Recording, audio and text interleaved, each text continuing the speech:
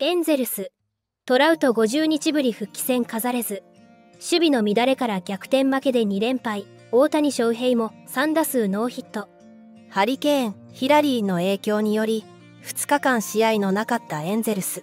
球場の状態も無事に回復し、大谷翔平選手は本拠地のレッツ戦に3番指名打者で先発出場しました。エンゼルスでは左有鉤骨を骨折して戦列を離れていたトラウト選手が約1ヶ月半ぶりに戦列復帰を果たし2番センターでスタメンに名を連ねたこの試合。チームはトラウト選手の離脱後38試合で16勝22敗と黒星が先行しておりプレーオフ進出はかなり厳しい状況となっています。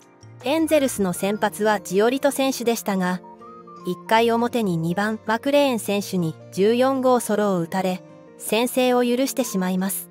一方レッツの先発はここまで6勝8敗のアッシュクラフト選手。1回裏の大谷選手の第1打席はカウント1エンド2からのスライダーにタイミングを外され空振り三振。0対1とエンゼルスが1点を追いかける展開となった2回。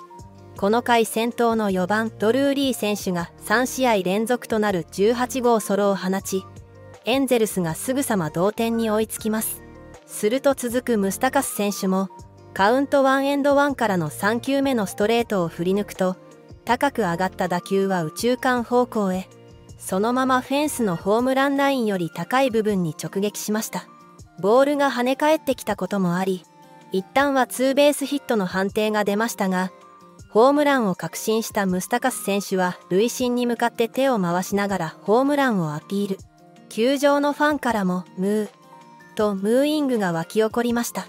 リプレイ映像では打球はホームランのラインを越えその上の看板に当たっていたことがはっきりわかると審判団もホームランと訂正。再び球場から大歓声とともにムーイングが沸き起こるとスタジアムの観客もムー。とムーイングの嵐となりました。3回裏に第2打席を迎えた大谷選手はフォアボールを選びます。そして4回裏にはオホッピー選手が5号ソロを放ちエンゼルスはリードを2点に広げました。しかし直後の5回表西に三塁の場面で打者に3番デラクルーズ選手を迎えるとシャヌエル選手がファーストゴロを補給できず2者が生還。痛恨のエラーで2点を失い同点に追いつかれるとさらに続く4番スティアー選手にレフトへのタイムリーを放たれ3対4と勝ち越しを許しエラーをきっかけに一気に試合をひっくり返されてしまいます。エンゼルスはその裏1番シャヌエル選手からの打順でしたが2番トラウト選手3番大谷選手を含む3者連続三振に終わってしまいます。7回表エンゼルスはジオリト選手に変えてソリアーノ選手をマウンドへ。1番フリードル選手をセカンドゴロで仕留めると2番マクレーン選手をフォアボールで出塁させるも続くデラクルーズ選手をセカンドフォースアウトに。さらに盗塁を狙ったデラクルーズ選手をタッチアウトとし打者3人でこの回を終えます。8回裏にレッズはモール選手をマウンドに送ります。エンゼルスはシャヌエル選手に変えてエスコバー選手が打席に立つも空振り三振。続くトラウト選手がショートへの内野安打を放ち一死一塁の状況で大谷選手がバッターボックスへ。一打逆転の場面でしたがレフトへのファウルフライに終わってしまいます。続くドルーリー選手もレッツの3番手としてマウンドに上がったジボー選手の前にセカンドゴロに倒れてしまいこの回も得点を奪うことはできませんでした。9回表エンゼルスは4番手のループ選手が登板。1番フリードル選手にバントヒットを許すも無失点で切り抜けます。そしてその裏レッズは3番手のディアス選手がマウンドへ。エンゼルスは5番ムスタカス選手が空振り三振に終わると続く6番オホッピー選手がデッドボールで出塁。そしてダイソーのモニアック選手が盗塁を試みますがチャレンジも実らずタッチアウト。その後グリチック選手がショートゴロに終わり試合は3対4でエンゼルスの敗戦に終わりました。これで8月は19戦で14敗目。61勝65敗で借金は今季ワーストの4となり米 SNS のファンも大荒れ状態となりました。これで大谷とトラウトが同僚の6年間でプレーオフ出場はゼロとなった。トレード期限までに売り手とならなかった代償は高くつくぞ。10月の夢は無産レンドンは大リーグ史上最悪の契約。2024年は良くなってほしい。大谷とトラウトをこの恥そのものから解放してやれ。大谷を一体どうしたんだ？今日こそお前の一発が必要だったのに。といったコメントが上がれば米スポーツ専門局 ESPN は大谷選手とトラウト選手のベンチでのツーショット写真とともに大谷翔平に関するエンゼルスの緊急事態。そしてそれ以降のゴリ夢中ぶりは全てアート・モレノ・ウォーナーがもたらした。と断言。これには大谷とトラウトのチームが弱小なのは球界全体の悲劇だ。ドジャースファンで普段はライバルチームに同情など覚えないがエンゼルスファンの友人たちを思うと心が痛む。と同情する声も上がっていました21日の終了時点でエンゼルスがポストシーズンに進出する確率は米ファングラフスが0.4%米ベースボールレファレンスが0.1%と算出しています。試合後取材に応じたネビン監督は得点するチャンスはあった。プレッシャーをかけられなかったことが敗因だ。と肩を落としました。2点リードの5回に死に3塁。1塁を守る新人シャヌエル選手が平凡なゴロを失策。これが同点のタイムリーエラーとなりこの回に一気に逆転を許したシーン。ネビン監督は初めてこんなにも衝撃的な走塁を見た。もしかしたらシャヌエルはそのことが頭にあったのかもしれない。シャヌエルは最悪の気分だろうからそのことは彼に問いただしていない。彼のせいで負けたわけではない。と痛恨の失策をしてしまった新人をかばいました。また1点を追う9回1死1塁からダイソーモニアック選手が2投を失敗。ネビン監督は盗塁をするなら確実にセーフにならなければいけない。と強い口調で語りました。ネット上では今日もエンゼルスらしい試合でしたね。勝ちゲームなのに逆転されその後点が取れずに負けるというジオリトはちょっとかわいそうでしたね。立ち上がり良くなかったですがうまくまとめてゲームを作っていたのに味方のエラーをきっかけに逆転され負け投手になってしまったのですからこのチームは試合を左右するエラーが多すぎます。それで勝ちゲームを何回落としたのでしょうか。基本が全くできてません。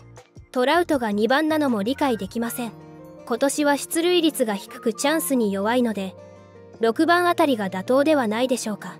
何をやってもちぐはぐ。それが今年のエンゼルスです。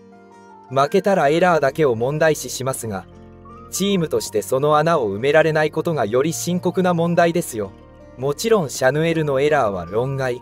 話にもならない。ありえないエラーでした。でもシャヌエルは新人です。まだその穴を埋める攻撃チャンスは5回もありながら1点も取れない。新人が犯したミスを先輩たちがカバーする環境。雰囲気がチーム内に全くないのがとても残念です。ジオリトが高騰してただけに安易なファーストゴロをエラーするルーキー。かなりへこんでいたようだが勝ち負けを左右するエラーはいただけない。エンゼルスは勝てるゲームを今季何度も落としている。こんなチームがワイルドカードなんてありえない。結局明日の大谷頼みになってしまうエンゼルス。大谷がワールドチャンピオンになるには移籍しかない。といった厳しいコメントが上がっていました厳しい戦いになる。大谷翔平の FA 去就に覚悟。トラウトが米メディアで語った。本音。俺たちは現実と向き合う。